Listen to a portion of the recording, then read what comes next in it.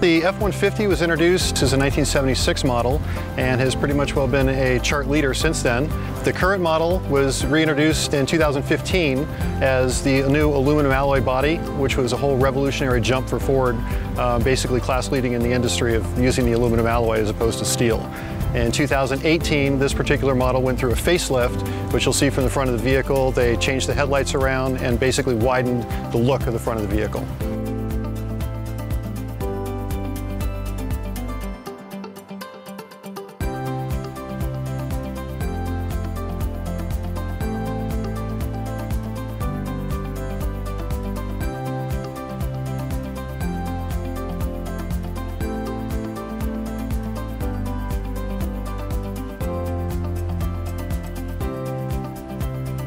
I like the larger screens. I like the fact that they have added the Sync Connect to it. I think it's a great feature. They've had it in the cars before. Now they're actually bringing it to the truck line. It goes down the road very smoothly. A lot of people comment that it drives more like a car than a truck, and I would tend to agree with that statement. It's definitely good for families. It's actually becoming a very popular vehicle for families. People are moving out of sport utilities and actually going into the trucks because they drive so much like a car.